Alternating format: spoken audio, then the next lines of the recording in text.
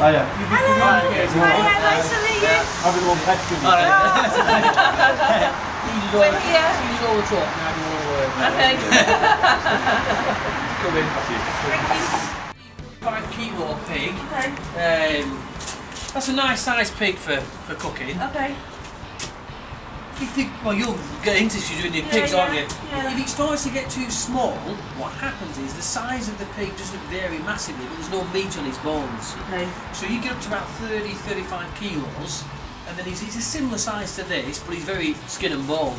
Okay. And then over that next 10 kilos, it's all going here on his bum, Yeah. his shoulders, and that's what's going to give you the, the, the meat to feed them. Yeah, yeah. Okay. So a 30, 35 kilo pig, um, to keep your feed off it. I was just um, gonna say how many people. yeah, I mean you need to do 30, you know, 30, 40 people probably. Okay. But this size of pig, you're going to easily do 100 people. Wow, Which will need another 10 kilos. And if you're breeding your pigs, it's not the cost for you particularly. If you think for another 20 pounds, Yeah. you've just doubled Yeah, yeah, the amount of people Yeah, you can feed. Because yeah. it's, it's all in the yield, it's all in the meat then. Whereas at first it's about growing the pig, then Yeah. it's about fattening the pig. Yeah, so yeah. this is an ideal size for us. And he's, he's easy, you can pick him up, you can move around, he's not, he's not too big to manage. Yeah. Whereas you start getting you know, 70, 70 kilo pigs, Jesus, you know, it's Yeah, like, big, oh. And what mil of fat would you? I always get this wrong now. I think it's about eight that we Eight, go for. okay. Yeah, yeah, about eight. Yeah, because you need some. If there's not enough on there, then you won't get nice crackling. Because It's too thin. we mostly send ours away at 11, don't we? Between 11 and 15. Yeah. The rare breed pigs, so. Yeah, so you, you Yeah, get it, you get about that, aren't you? yeah, Yeah, yeah, it's a yeah. lot, is that? And is that would that be too much to? Well, you, you have to try it. What you might find is there's a lot of fat in the tray Okay. while you're cooking him. Uh, you have to watch your crackling and see how your crackling goes. You have to cook, you have to cook some and, and, and And see really. test, yeah. Leave the machine for the hire market. We were hiring a lot of machines out, so we would take a machine to somebody, we'd drop it off and then they'd cook a pig in it. And they'd invariably getting it wrong. So we tried to go back to the drawing board to build something that we could drop off for a hire, so mm-hmm. you'd never seen a machine or a pig before, Yeah. could produce a perfect pig. Okay. And that was the start of this machine. And it didn't have a window in at the time, it was just a stainless steel box, but we could drop it off with someone, they could turn it on, you have to touch it, Yeah. you can leave it for 6, 8, 10, 12, 14, 16 hours. It just sits there and cooks. Okay. And when you're ready, you eat it. So it's a great thing. Yeah, yeah. So then it became very popular. Yeah. So suddenly it's like, well, it's not a high machine anymore. So then we put the glass panel in so you Is can see cooking. with the panel? Do Yeah. like that? You- yeah. well, your customer can see what's going on, so there's a bit of visual for them, but you Yeah. can see. Yeah, so yeah. when that pig's cooking, how's he doing? Well, Yeah. oh, quick look, he's alright. Yeah. Every time you open the lid, you add 10 minutes to cooking time. Let all that heat out. Doesn't Okay. sound a lot, but you open it 10 times, Yeah. you put an hour and a half the cooking. Yeah. Whereas now we can have a quick look there and you can see how he's doing. You don't need to you don't need to open him up. So again that was a, that was a big thing for us. Now this is the best selling hog roast machine in, in, well, in the world.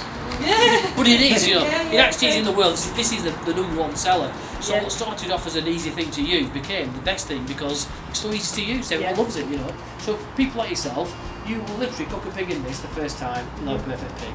Okay. And it, it's honestly, it's that, it's that good. It really Okay. is. So it comes like that. Trays there. And while you're cooking, your trays at the bottom like that. Pigs in there. Mm-hmm. Burners at the back there. And that's. He just sits there. We're going to do it in a minute. Then when he's cooked, we'll it before we put a pig in its light. If you grab an end there, then hand pick him up. Pick him up. Stick the hand underneath. Put him down again, and, and you serve him. So you, you leave your heating all the time. Because the heat in the back here, you're the customer, it's warm, Yeah. you can touch it, you're not going to burn yourself. Yeah, yeah. And you've got the door here, which is shielding you from the from the heat here. Okay. So you can leave it all the time, keeps the pig warm, all, all, all nice and safe. So when you come to light it, there's all different shapes and sizes of gas bottle. You've got your great big 47s, Yeah. your 19s, your 13s. The most popular one is, is actually the 19 because you'll do you a lot of cooks, you'll do four, five, six pigs out of a 19, depending on how big it is Yeah. but they're relatively cheap. The 47s are great for cooking at home because they're so cheap, but of course you can't just pick it up and put it into a van. Whereas these, you know, even you know, you might say you're you're a good lady, you know, but you'll be able to pick them up and take that with you. Yeah, yeah. it- it's fine to take it with you. Whereas a 19 can actually be a bit big to hike around. Yeah, yeah, yeah. Okay. So having a combination's good. we can get you a deal on the, the gas. If you speak to the guys in there, they bought the machine, they'll, they'll do it for you anyway. But we can get you a 19 kilo for about 20 pounds, which is about I think 35 list. So we get we get gas really cheap. to you. So it goes on. It's a wheel, so you don't need a spanner anymore on these now. It's just a wheel and you just find it on with your fingers. On. Turn my gas on. Now in here, the first thing you see is this little cover. So it actually says on there, please remove before coming, but but you won't believe it. People still don't see that; they still leave it on. So when we're cooking with it now, we have it o- when we have it off. When you're going to clean him, just pop him back on. Yeah. Now you can actually put a bit of tin foil if you want to, it will do the same job. But this is the only bit you've got to protect when, you, when you're cleaning him. You can chuck buckets of hot soap and water and you can scrub him. He's indestructible. If you get water in here, it won't work. Okay. But you can light him and then he'll he'll dry out. So it's not the end of the world, but if you can try not to, it does help. Yeah, yeah. So it's just like a typical your barbecue or anything. You push it down and click. You'll see the sparker there. Yeah. Now at first, all this is full of air, and all the air is being pushed out through through here. So it takes a good minute or two to push that, that air out. Okay. Once you've done that, it's connected to a gas bottle. The next time you'll light straight away. But what I get is people going, it won't light, it won't light, but it won't light because you, you've got to give it a good minute or so to push yeah. through. Okay. And a minute's a long time you just, you know, stood there waiting. So then he lights. You just hold him down for about 30 seconds, like warms up the thermocouple. So the the thermocouple tells the gas tap that the pilot light is lit. So once that is hot, it's sending a message through to the, the gas tap saying, "Hello, I'm lit. It's okay to release the gas." If you get that blocked up with water or fat or anything, well then you can't heat up the thermocouple, so then you can't send a message to the gas tap, so it won't release the gas. You just put him on the thermocouple like that. So by putting that on the thermocouple, you're doing the job of the, of the pilot light. So he's going red now. So now, if I turn him on, I won't need to click or anything. The gas will come through, and it will, it will, it will light the burner. So the burner will be lit, even though your pilot's light's not lit. Then once a burner's lit, the burner itself will keep the thermocouple hot. Okay. And nine times out of ten, whatever you've got in that pilot light will dry out, it'll start working again. It's the one thing, I mean, I'm telling you over and over again, Yeah. but trust me, it's the one, I'm blaming it, it's the one thing that people do is that it's when they're cleaning, Yeah. you know, it- Yeah. it's not you that cleans it, you know, you'll, you'll get somebody else to clean it, they don't put it on, Yeah, but yeah. you're the person who's come to use it, you'll come to use it, somebody else did it, and suddenly it won't work, and it's 3 o'clock in the morning, you're a pig to cook, and you would eventually the next day and you're stressed, and then, then you ring me. So cooking wise, you've, you've two settings. You've low, which is where that is now. Now I do 99% of all my cooking with this machine on low. I just think low and slow. Oh, Yeah, yeah. plenty of time. There's Yeah. no rush. Give you plenty of time. You'll be fine. You can turn him up to there. That makes a big difference because you're such a long bar. That that amount of flame makes a big difference. So times you may do that. All right, I'm behind. I need to cook quicker because I'm behind. I'm using my barbecue, so I need Yeah. a more intense flame on my barbecue to get the heat coming through. Okay. Um, I want to finish my crackling off. We were talking about the crackling, it's not quite crackled enough. Yeah. But put him on full for a good 10 15 minutes, really get that heat up, try, Yeah. and get, try and get the crackling going. Okay. But nine times out of ten, that, that's where you'll be. You'll be on low, you'll turn Yeah. it on, and you'll just forget about it. Yeah. And food sticks to it, it's thicker, doesn't it? So that goes on there.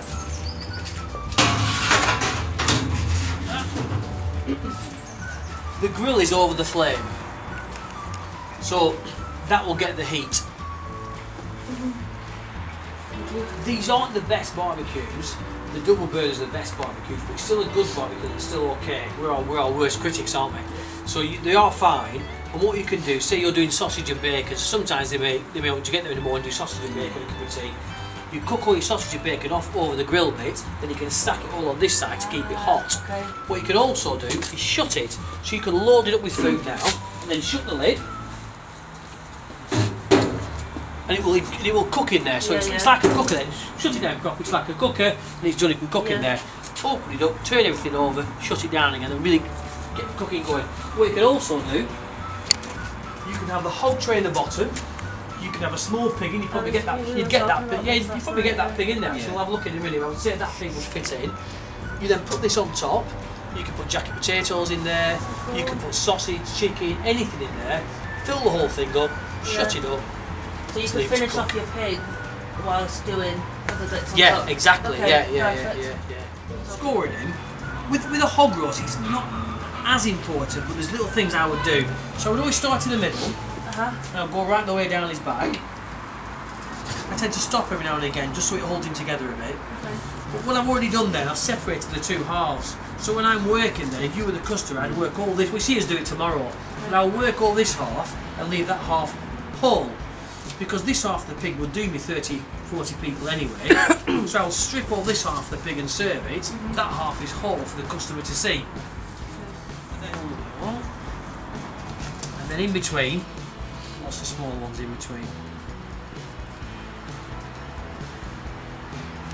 What this will do, it will get all the juices flowing, and you'll see tomorrow when this is cooking, all the juices will come out of those gaps, Yeah. and it's all the crackling, all bubbly and, and crispy. Yeah. And then when you come to serve it, all you've got to do is join up the lines, so that whole piece of crackling, well, cut it there, cut it there, that whole piece will come out, Yeah. and I'm just clipping all them lines together, and you've got a complete raw, perfectly sized crackling in, in seconds, you know. Yeah. And you can use these for sausages or whatever, but I would. The butcher's already cut this back for us, and he knows how we like our pigs. Okay. I'd probably even take it a bit farther back than that, really open up this belly. Okay. So it really lets the heat get right inside in them. And you can use this for, you know, for sausages or Yeah, whatever yeah. afterwards, you know. So when you ask your butcher, you just literally say you want it cut back for the roast and Yeah, he knows. He I mean, would know, yeah. It depends whether you want, if you've got a use for this, well, you do it yourself because you use it. Yeah. The butcher will do it because he'll have a use for it, and I don't here. Yeah. What a lot of the guys do, they keep it, they make sausages from it. Yeah. So they all the bits of pig, they save them all, and they take them back to the butcher. The butcher turns them into sausages for them, so they have the, the, the ready-made sausages, and then they obviously sell the sell the sausages. Yeah. Listen, there's no waste. There's the only thing you don't eat is the squeal or something like that, No. isn't it? There's, there's no Yeah, waste in the no. pig.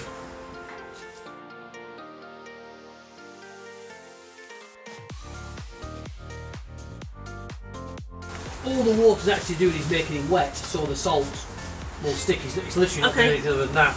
And I would put plenty of salt on. It's a fine line sometimes because you don't want your crackling too salty. But all this salt again, it will start to pull that fat out and it will really help that crackling get going. Okay. I can turn him on at 10 o'clock at night, I could go home, I could leave and, and he would be fine. Okay. So what you would tend to do is, rather than make your life difficult, you would just cook it for longer. Okay. So if I was if I was doing this myself and I was having a party at home tomorrow, when I go to bed I would turn it on. Okay. So that point would be, um, say I go to bed at half 11 at night, half 11 I went to bed, I would just turn it on at half Okay. 11 I went to bed. I wouldn't get up, at, I wouldn't work it out, well that's, hmm. you know, I, I used to say at least an hour and a half to two hours per kilo in here. So that's a 40, 45 kilo pig. Two hours, that'd be nine hours. So I could work that back and say, what to eat at half past 12. So I should turn that on at half past, half past two in the morning. It won't make any difference. Turn it on at half past 11, he has two hours extra, he'll be fine. Okay. You, you know what I mean? Don't, don't make your life have to worry difficult. Yeah, exactly. Just, just turn him on early and leave him. Run out to all Yeah, those yeah. score marks, but he stays still. And what time did you? Wow. I don't regret this. I did my thing. I set you off at 2 o'clock this morning. Normally I'd set you off at 12 and then just go to bed. I thought, oh, God, I'm going to put 2 and doing it too. I don't regret that. So it's looking alright, isn't it? Because the, the ideal time to turn him on was 2 o'clock. To be ready for. To be ready for 12. Okay. I, I should have turned him on at 12. I normally I would have just turned him on at midnight and gone to bed. But Steve were dogging me as well, so alright, we're going to put 2. So I got up at 2. So yeah, he's about where you'd expect him to be now. She's crackling, just going nice and crispy now. So what was your? What is it? Two hours for every. I say in these hog masters, for every 10 kilos of 10 pig, kilos, I'd give I'd give him two hours, yeah. Okay. Um, long and slow. Yeah, long and slow.